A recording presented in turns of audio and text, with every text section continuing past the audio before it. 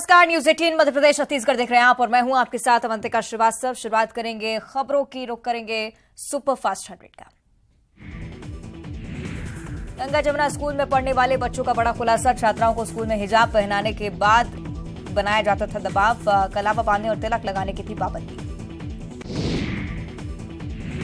दमोह के गंगा जमुना स्कूल में लंबे वक्त से चल रहा था मज़हब का प्रचार। हिंदू छात्राओं को हिजाब पहनाने और धार्मिक गीत गवाने का वीडियो आए सामने। यूट्यूब चैनल में मिले कई वीडियो से स्कूल प्रबंधन जाँच के घेरे में। दमोह में गंगा जमुना स्कूल का वायरल वीडियो आया सामने। प्रार्थना में बच्चों से गवाए जाते थे धार्मिक गीत। राष्ट्रीय पर्व के दिन धार्मिक गीत गवाए जाने का मिला वीडियो। दमोह धर्मांतरण केस में स्कूल प्रबंधन को नोटिस अध्यक्ष सचिव और प्रिंसिपल से होगी पूछताछ डीईओ को हटाने के भी निर्देश। बीजेपी कार्यकर्ताओं को रिचार्ज करने के लिए 30 जून को रायपुर आएँगे जेपी नड्डा पार्टी के महाजनसंपर्क अभियान को, को देंगे धार। बिलासपुर में जनसभा को करेंगे संबोधित। बीजेपी नेताओं के बस्तर दौरे पर सीएम भूपेश बघेल का तंज बोले चुनाव आते ही बीजेपी की सियासत और दौरे हुए एक्टिव। कर्नाटक चुनाव जैसा होगा हाल। बीजेपी के सोशल इंजीनियरिंग पर मुख्यमंत्री भूपेश बघेल ने कसा तंज कहा, जो भी लोग बीजेपी में गए, वो किसी पार्टी में थे। नुकसान हमें नहीं, बल्कि बीजेपी को चुनाव में होगा। बिलासपुर में बेखौफ लुटेरों ने महिला के गले से लूटी चेन। दो नकाबपोश बदमाशों ने दिया वारदात को अंजाम। लूट की पूरी वारदात सीसीटीवी कैमरे में कैद। कोरबा के कुसमुंडा से पाँच साल पहले लापता हुई सलमा की तलाश जारी। कंकाल की खोज के लिए साइंटिस्ट और सैटेलाइट इमेज की ली जा रही मदद। दरी से पाँच साल पहले हुई थी लापता। बिलासपुर में नशे में धुत युवकों के बीच जमकर हुई मारपीट। विवाद के बाद होटल और कबाड़ वालों के बीच जमकर चले लात घूसे तारबहार थाना पुलिस ने केस दर्ज किया। जबलपुर में बेसबॉल के नेशनल प्लेयर ने लगाई कमरे में फांसी। सिवनी के रहने वाली संजना की खुदकुशी की वजह का अभी तक खुलासा नहीं। विधानसभा चुनाव से पहले गोविंद सिंह का बयान, जिसे जनता स्वीकार करेगी वही होगा कांग्रेस का मुख्यमंत्री चेहरा। जबलपुर से प्रियंका गांधी करेंगी चुनावी समर का आगाज़। 12 जून को संस्कारधानी में होगी कांग्रेस की बड़ी रैली। एक मंच पर सभी दिग्गजों को लाने की तैयारी। मंदसौर में कमलनाथ ने रेलवे नियमों की उड़ाई धज्जियाँ कार्यकर्ताओं के साथ नियम विरुद्ध किया रेलवे पटरी को पार। किसान सम्मेलन में भाग लेने पहुँचे थे कमलनाथ। राजगढ़ में टिकट के दावेदारों को दिग्विजय ने दिलाई शपथ। पार्टी हित में एकजुट रहने की दी सलाह। बगावत कर चुनाव लड़ने वालों को दी पार्टी से बहिष्कृत करने की बात। हरदा के खमलाय गाँव में 50 लाख की डकैती। बदमाशों ने बनाया बीजेपी नेता को निशाना, एक किलो सोने के जेवरात समेत लाखों की नकदी ले उड़े चोर। मध्य प्रदेश में ओवरलोड ट्रकों के खिलाफ होगा सख्त एक्शन। केंद्रीय सड़क परिवहन विभाग ने जारी की ज़रूरी एडवाइजरी एक्सीडेंट और पब्लिक प्रॉपर्टी के नुकसान को बचाने की कवायद। मुरैना में तेज रफ्तार टैंकर ने बाइक सवार को कुचला। मृतक के परिजनों ने लगाए सड़क पर जाम। सिविल लाइन पर जाम लगाने से लोग हुए परेशान। राजधानी भोपाल में फिर फूटी कोलार पाइपलाइन। सिक्स लेन निर्माण कार्य चलते बढ़ा था पाइपलाइन का दबाव। पाइप फूटने से इलाके में भरा हज़ारों गैलन पानी। रायपुर में बिल्डिंग की आठवीं मंजिल से गिरी युवती। मृतक महिला के पति ने लगाया हत्या कर शव को फेंकने का आरोप। महिला करती थी घर में मेट का काम। भिलाई नगर निगम में बीजेपी ने किया जंगी प्रदर्शन। निगम में सुविधाओं को बढ़ाने की बीजेपी कर रही मांग। शहर की सफ़ाई और नागरिक सुविधाओं को कम किए जाने का लगाया बीजेपी ने आरोप। लगातार बढ़ते पारे से हाथी भी हुए परेशान। गर्मी से निजात पाने के लिए हाथियों का दल पहुँचा तालाब पर। वन विभाग ने लोगों को हाथियों से दूर रहने की दी नसीहत। पारे के चढ़ते ही रायपुर में आसमान पर पहुँचे सब्जियों के दाम। 30 से 40 रुपए किलो बिकने वाली सब्जियों के दाम पहुँचे 80 के पार। कीमतों में टमाटर भी हुआ लाल। राजनंद गाँव में सूर्यमुखी देवी क्रिकेट टूर्नामेंट का हुआ आगाज़। मैच में जितने छक्के लगेंगे, उतने ही पेड़ों को लगाने की होगी तैयारी। टूर्नामेंट में देश की आठ टीमों ने लिया है हिस्सा। बाज़ार के कस्टोल में तेज रफ्तार, दो ट्रकों के बीच हुई जोरदार टक्कर। हादसे में एक ड्राइवर का पैर गाड़ी में फंसा। ड्राइवर को निकालने के लिए गैस कटर की ली जा रही मदद।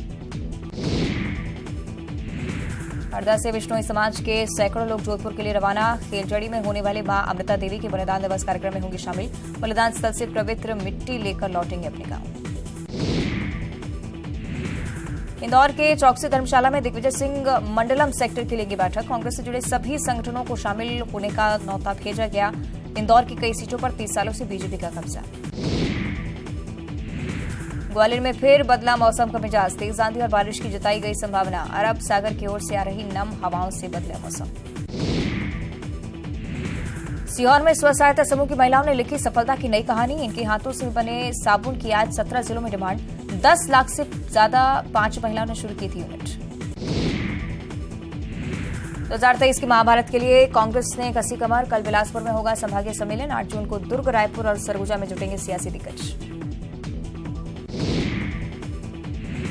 जशपुर के बादलकोल वन अभ्यारण्य क्षेत्र में सड़क मरम्मत का काम शुरू, बीते दिनों ग्रामीणों ने किया था चुनाव बहिष्कार का ऐलान। बारिश के बाद बनाई जाएगी पक्की सड़क। राजधानी रायपुर में भाजपा में दिखाएगी सरकार को दम। सरकारी योजना में चल रहे भ्रष्टाचार के खिलाफ बजाएगी सियासी बिगुल, जयस्तंभ से लेकर मंत्री लखमा के घर तक करेंगे मार्च। पेंड्रा में धान लेकर जा रहा ट्रक, बेकाबू होकर खेत में घुसा। हादसे में ड्राइवर और हेल्पर हुए घायल। मोड़ पर ट्रक को काबू करने के चक्कर में हुआ हादसा।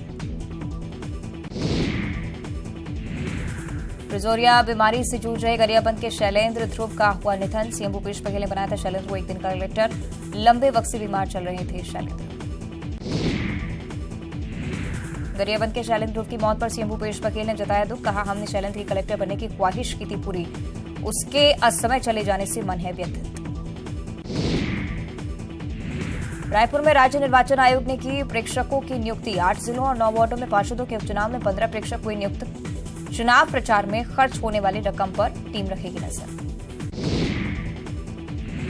दुर्ग के पाटन में आज बिजली रहेगी गुल शहर के कई हिस्सों में प्री मानसून मेंटेनेंस का किया जाएगा काम। पंदर गुजरा मटिया बरबसपुर, खराज सहित कई गाँव में कटी रहेगी बिजली। सारंगढ़ के गोबाटा अभ्यारण्य से लगे जंगलों में लगी आग। कई कीमत, कई कीमती पेड़ पौधे हुए जलकर खाक। खड़ी मशक्कत की बात आग पर पाया गया काबू और अब रुक करेंगे सीहोर की ओर। खोले बोरवेल में तीन साल की मासूम गिर चुकी है, जिसे निकालने के लिए तमाम कवायदें तेज कर दी गई हैं। सूचना के बाद रेस्क्यू के लिए टीमें यहाँ पर पहुँच चुकी हैं। ग्राम मंगावली का ये पूरा मामला। कलेक्टर, एसपी और सहित प्रशासनिक अमला मौके पर मौजूद है। सृष्टि कुशवाहा, मासूम का नाम, जिसके रेस्क्यू के लिए तमाम कवायद लगातार आगे बढ़ती हुई तस्वीरें आप देखिए। कोशिशें प्रशासनिक अमले की तरफ़ से लगातार की जा रही हैं। पैरेलल में गड्ढा खोदना भी शुरू हो चुका है। जेसीबी की मदद से इस गड्ढे को खोदकर इस बच्ची को बाहर लाने की कोशिश और साथ ही साथ बोरवेल पर तमाम परिजन बच्ची के मौजूद हैं। कोशिश करें कि इस बच्ची से संपर्क बनाया जा सके और जिस तरह से प्राथमिक जानकारी अभी तक सामने आई है, बच्ची में मूवमेंट अभी भी देखने को मिल रहा है। ये बताया जा रहा है कि प्रशासनिक अमला अब इसी ओर जुटा हुआ है कि जल्द से जल्द पैरेलल गड्ढा खोदकर इस बच्ची को समय रहते बाहर निकाल लिया जाए। कोई अनहोनी इस बच्ची के साथ ना हो। ये कोशिश लगातार प्रशासनिक अमले की तरफ़ से जारी है। जब कैमरा डालकर देखा गया, तब भी बताया गया कि मूवमेंट इस बच्ची में लगातार देखने को मिल रहा है। प्रशासनिक अमला भी देखिए, लगातार कोशिश कर रहा है कि इस बच्ची से बातचीत कर सके, जिससे बच्ची अंदर घबराए ना। खाना पानी भी सप्लाई करने की कोशिश इस बच्ची को, लेकिन चूँकि ये बताया जा रहा है कि 20 से 30 फीट तक ये बच्ची हो सकती है, एक अंदाजे के मुताबिक अभी तक ये जानकारी सामने आई है। इसलिए लगातार ये कोशिश हो रही है। कि जल्द से जल्द इस बच्ची को बाहर निकाला जा सके। एक बार फिर से सीहोर में इसी तरह की घटना जो कि पहले भी प्रदेश में कई बार सामने आ चुकी है, लेकिन इसके बावजूद लोग सबक लेने को तैयार नहीं खुले बोरवेल, इसी तरह से छोड़ दिए जाते हैं। और एक बार फिर से इसी तरह की घटना, हालाँकि प्राथमिक अब इसी चीज़ पर ज़ोर है, प्राथमिक तौर पर कि जल्द से जल्द इस बच्ची को बाहर निकाला जा सके। सही प्रदीप हमारे साथ जुड़ रहे हैं। प्रदीप, क्या कुछ अपडेट इसे लेकर अभी तक? देखिए अवंतिका प्रशासन की साँसें इस समय पूरी तरह से अटकी हुई है। स्पॉट के ऊपर collector SP rescue team SDRF team और जो भोपाल के एक्सपर्ट्स हैं उनको भी अभी कॉल करके उनसे पूछा गया है। और सबसे अच्छी बात यह कि ये बोर जो है कल ही खुदा था और ये हम्म। तीन सौ फीट मेरा बोर है। लेकिन जो केसिंग पाइप डला है पतला वाला वो डला है बीस फीट में तो बच्ची बीस फीट में आगे फंसी हुई है। जो मैपिंग उन्होंने करी है तो इसके आधार पर मतलब ऐसा लग रहा है कि ये बच्ची जो फंसी हुई है जितनी जल्दी रेस्क्यू करके समानांतर घटना खोद के निकाला जाएगा उतनी लिए बालिका निकल जाएगी और पूरे प्रयास इस समय कर रहे हैं। ऑक्सीजन सिलेंडर भी लाकर रखे गए हैं ऑक्सीजन भी दी जा रही है बच्ची से। बात करने का प्रयास है, टॉर्च डाली गई है। और बच्चे के पिता का ये कहना है, रोहित कुशवाहा का, कि मैंने स्वयं अपनी बच्ची से बात करी, बच्ची कह रही, पापा, मुझे बचाओ, मैंने उसको बोला, बेटा, हम तुम्हें बचाना है, चिंता तुम बस खड़े रहना। ये अभी उनके पिता ने कहा है।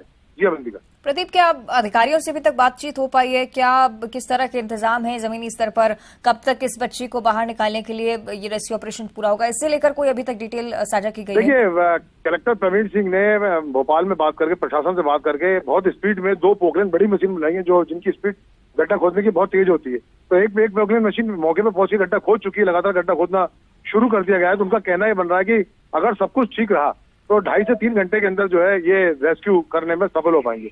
चूँकि प्रदीप, आप इस बात भी इस बात को लेकर भी लगातार कह रहे हैं कि यहाँ की मिट्टी किस, खेती किसानी वाली है, यहाँ पर कई सारे खेत हैं और बीच में पत्थर जैसी, चट्टानों जैसी कोई मुसीबत नहीं आ सकती है। क्या ये माने कि रेस्क्यू ऑपरेशन जल्द से जल्द पूरा कर लिया जाएगा, इस बच्ची को जल्दी बचा लिया जाएगा इसे लेकर?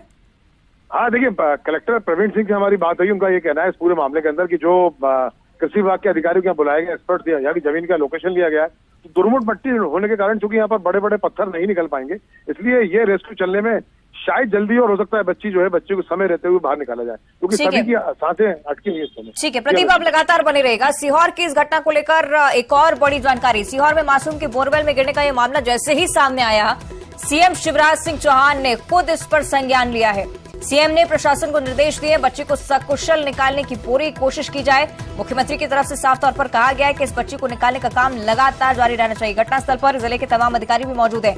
तीन साल की मासूम बच्ची बोरवेल में जा गिरी है। बच्ची को रेस्क्यू करने के लिए तमाम कोशिशें की जा रही हैं। बीस फीट की दूरी पर बताया जा रहा है कि कहीं ना कहीं बच्ची फंसी हो सकती है और इसीलिए एसडीआरएफ की टीमें लगातार पोकलिन से मैपिंग कर गड्ढा खोदने की भी कोशिश कर रही हैं। सही प्रदीप लगातार जुड़े हुए हैं। प्रदीप, खुद मुख्यमंत्री संज्ञान ले चुके हैं इस पूरे मामले को लेकर। क्या कुछ अधिकारियों को निर्देश अभी तक?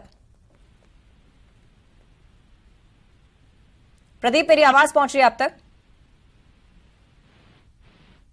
चलिए, कोशिश करेंगे हम संपर्क करें प्रदीप से, लेकिन ये देखिए, किस तरह से मुख्यमंत्री ने फ़ौरन सजगता दिखाते हुए प्रशासनिक अमले से सीधे बातचीत किए, सीधे निर्देशित किया है कि जैसे भी हो सके, जितनी भी चीज़ों की ज़रूरत हो, जल्द से जल्द भोपाल तक इस बारे में जानकारी पहुंचाई जा सके और तीन साल के इस मासूम को निकालने के लिए कोशिशें लगातार जमीनी स्तर पर। जो एसडीआरएफ के जवान हैं, वो भी कर रहे हैं। साथ ही साथ प्रशासनिक अमला लगातार तैनात है। आप देख रहे हैं। मुख्यमंत्री शिवराज सिंह चौहान की तरफ़ से भी निर्देश की जितनी जल्दी हो सके इस बच्ची को बाहर निकाला जाए। सीएम शिवराज ने मामले पर संज्ञान लिया है। बच्ची को सकुशल निकालने की पूरी कोशिश की जा रही है। तस्वीरों के ज़रिए भी आप अंदाज़ा लगा सकते हैं किस तरह की स्थिति यहाँ पर होगी। क्योंकि प्रशासनिक अमला बहुत सीरियसली इस काम में अब जुड़ चुका है। ये बताया जा रहा है कि 20 फीट तक ये बच्ची फंसी हो सकती है, एक अंदाज़ा अभी तक लगाया गया है। चूँकि बच्ची की बात भी हो रही है परिजन से, इसलिए उम्मीदें लगातार बढ़ती हुई। ये भी बताया जा रहा है कि उस पर नज़रें भी लगातार बनी हुई हैं। और अब जशपुर से अगली बड़ी खबर। जल संसाधन विभाग में हंगामे की स्थिति देखने को मिल रही है। विभाग के कर्मचारियों ने उत्पात मचाए। शराब के नशे में कर्मचारी ऑफ़िस में पहुँचा, हंगामा किया है। अधिकारियों की मौजूदगी में बदसलूकी करता रहा कर्मचारी। नशे में धुत डेटा एंट्री ऑपरेटर ये कर्मचारी बताया जा रहा है, जिसने यहाँ पर बवाल मचाया। तस्वीरें आप देखिए। जल संसाधन विभाग का ये ऑफ़िस, जहाँ पर ये कर्मचारी नशे की हालत में पहुँचा। हंगामा करता रहा काफ़ी देर तक। तमाम बड़े अधिकारी, तमाम वरिष्ठ अधिकारी यहाँ पर मौजूद थे, लेकिन उनकी मौजूदगी के बीच उस तरह से घंटों हंगामा चलता रहा।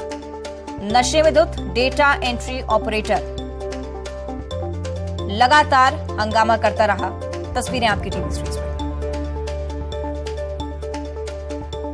बताया जा रहा है कि नशे की हालत में यहाँ पर पहुँचा था, उसके बाद जमकर बवाल काटा और बीजेपी अध्यक्ष जेपी नड्डा ने सूरीनाम के सर्वोच्च सम्मान grand order of the chain of yellow star से सम्मानित किए जाने पर राष्ट्रपति द्रौपदी मुर्मू को बधाई दी है। नड्डा ने लिखा है कि सूरीनाम के सर्वोच्च सम्मान grand order of the chain of yellow star से सम्मानित किए जाने पर माननीय राष्ट्रपति द्रौपदी मुर्मू जी को बधाई। सूरीनाम के लोगों की ओर से सम्मान हमारे दोनों देशों के बीच स्थायी संबंधों को दर्शाता है। ये ट्वीट हम आपको दिखा रहे हैं। जेपी नड्डा, बीजेपी के राष्ट्रीय अध्यक्ष, उनकी तरफ़ से राष्ट्रपति द्रौपदी मुर्मू को बधाई संदेश। सूरीनाम की तरफ़ से इतना बड़ा सम्मान दिया जाना देश के लिए भी गौरव का विषय।